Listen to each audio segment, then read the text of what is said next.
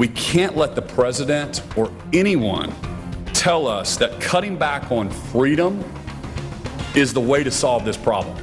Governor Kevin Stitt promises to fight back against COVID 19 vaccine mandates by the federal government. Thanks for joining us. I'm Craig Day. And I'm Lori Fulbright. In just the last few hours, a federal judge has blocked the president's mandate for federal contractors. This comes as the governor, Oklahoma's attorney general, and many others have been outspoken against these mandates. News on 6's Jonathan Cooper is live tonight with details. Jonathan? Craig and Lori, the state has already filed five different lawsuits challenging vaccine mandates. Governor Kevin Stitt and Attorney General John O'Connor are fighting back and sharing a common goal this evening to stop the Biden administration from imposing COVID 19 vaccine mandates on Oklahomans and entities throughout the state. The decision to take a COVID vaccine should be made by Oklahomans and their doctors not their bosses, and certainly not the federal government. This morning, the governor, attorney general, and business leaders all spoke out against several mandates handed down by the federal government.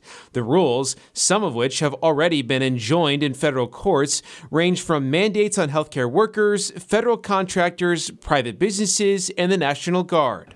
All mandates O'Connor is suing over, as he told me yesterday in an interview with News on 6. The reason for all five of our lawsuits, really, is that uh, the rights and liberties belong in the individual. Both O'Connor and Stitt, a former CEO, are also outspoken about what mandates could mean for employers and the economy. Dana Weber is the CEO of Webco Industries in the Tulsa area. We believe that the federal government does not know what's best for us out here in Oklahoma, particularly in the rural parts of Oklahoma. Weber says if a mandate on private businesses goes through, which also includes the option for weekly testing for non vaccinated employees, she'll still lose about 20% of her workforce. Now, some critics have questioned the price tag for all of these lawsuits. Earlier this year, the state legislature passed House Bill 1236, which set aside $10 million for lawsuits just like this.